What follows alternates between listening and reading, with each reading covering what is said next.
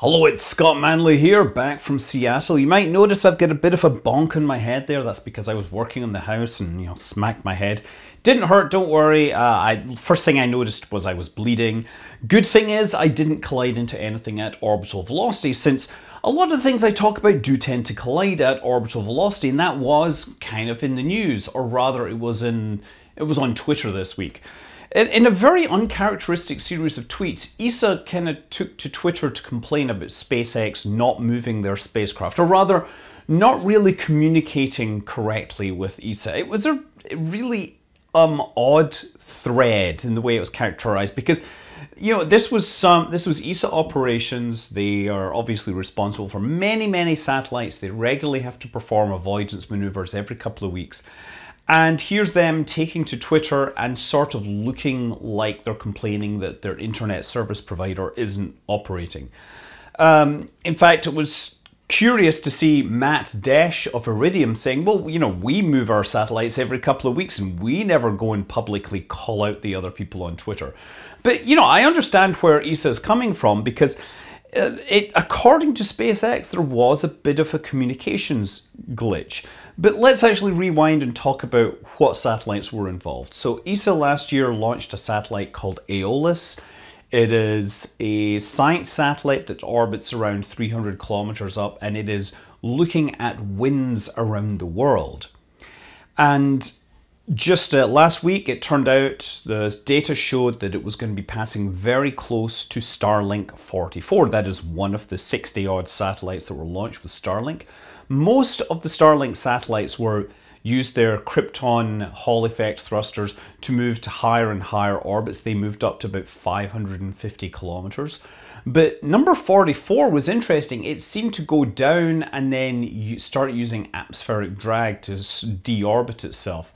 So it's not really clear exactly what their test is. I think they're just trying to show that they can deorbit it. Maybe the transmitter for the, um, you know, the phased array communication system isn't working. Whatever, this one chose to go down instead of up, and that brought it down through various, uh, it means it's crossing paths with various spacecraft, including Aeolus. Um, about, you know, towards the end of August, data from the Socrates system, uh, which is based on the your publicly available data on satellite orbits, showed that it was going to pass sort of close and it had a 1 in 50,000 chance of colliding. And this is cause for concern, but actually it's not that much cause for concern. The threshold is probably 1 in 10,000. That's what they consider to be the point at which action should be taken. And if you wonder kind of how big this is, think about the fact that if you have a one square meter spacecraft and you put it in a 100 by 100 meter square, then that's 10,000 square meters. So, you know, any point, any debris that hits one of those square meters has a 1 in 10,000 chance of hitting the satellite. So reasonably, that's like a 50 to 70 meter margin in terms of uh, you know, distance that you want to have. Um, anyway, yes, uh, what later happened was that better data came in from the US Air Force, and yeah, then uh, for some reason, SpaceX's ticketing system didn't work, they didn't get the message, and so ESA on its own, after not getting any response, no coordination with SpaceX, decided that they were going to raise the orbit of Aeolus just enough so that it would pass over the top. And as I said, it only needs to move up by, you know, 100 meters or so to be way in the safe zone. The space station, on the other hand, it, it needs to make much larger maneuvers. Typical maneuvers for the space station avoiding debris are like you know a third of a meter per second, half a meter per second, and that will give them clearances of kilometers by the time they actually get to the point of potential collision. Incidentally, to clean up another misconception, a lot of people think about the two objects flying to each other and think that an avoidance maneuver means you fire your thrusters to the left or the right or to go up or over. Actually, typically the spacecraft heading towards their you know destiny, they will actually fire their engines forward so that they actually get there faster. And that just means that they get there earlier. or, and they will also typically mean that they go over the top as well. Either way, um, that's the most efficient way to make these spacecraft move. And typically, they are having to make orbital maintenance maneuvers to keep their altitude high enough. So it doesn't always work out as a negative. So yeah, this is this is something that's going to be much more important over time. Right now, satellite operators kind of are in the situation where they none of them wants to really move their satellite because if you have to move your satellite, you have to spend propellant, and propellant is what keeps your spacecraft working. If you don't have enough propellant, your spacecraft is essentially dead. So you're incentivized as a satellite operator to let the other person move. Therefore, satellite avoidance maneuvers are like a ridiculous game of chicken in space where you've got two things heading towards each other at kilometers per second and there's an incentive not to be the one that hits the brakes. I, am sure disasters may eventually happen at some point. The, you know, you have to realize there's really no central authority, no central space traffic control at this time that's saying you should move your satellite because you came here second and you're getting in the way of this satellite that's been here forever. They have, you know, they have priority there. You're deorbiting, they are wanting to maintain an orbit.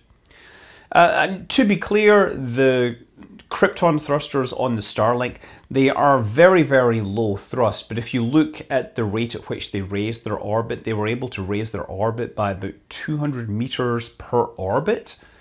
So that is more than enough, even for these low, uh, low thrust, high specific impulse Krypton thrusters to be able to, you know, avoid any reasonable object.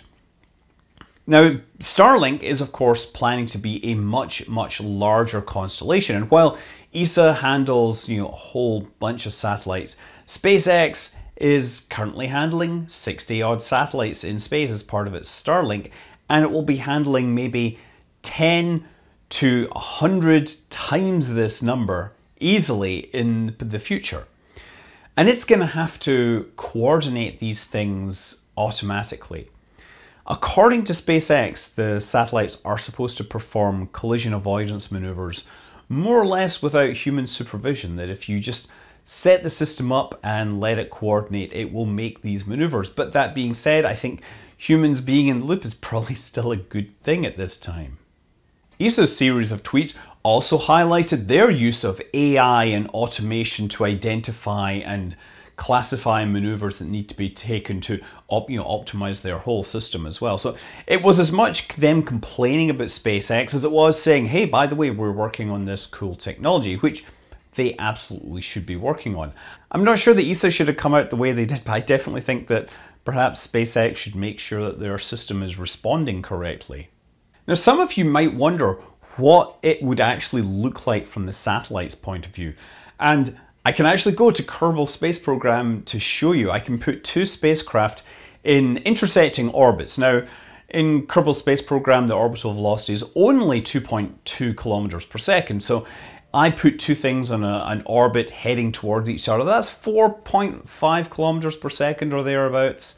That's actually kind of low. The Aeolus and Starlink 44 would have had in a closing speed of 14.4 kilometers per second. So this is this is way faster than what we have in this simulation. But if you watch it, it is literally a case of blink and you will miss it. It flies past. And if I actually pause it and step through it, you can start to see the frames and there's a couple of frames, there's like one frame where you can really see the two satellites on the screen together and then they're gone. Given that this, this is supposed to be running at 60 frames per second and the closing velocity is 400, sorry, 4 kilometers per second, they're moving about 75 meters every frame.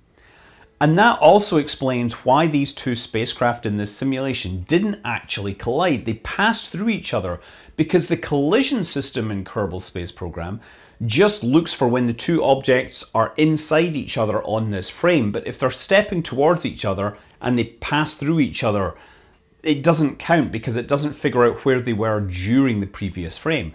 So if I say replace one of the targets with a much larger object, such as, such as this fine simulation of a Star Destroyer. Not a real scale Star, Star Destroyer, but still large enough.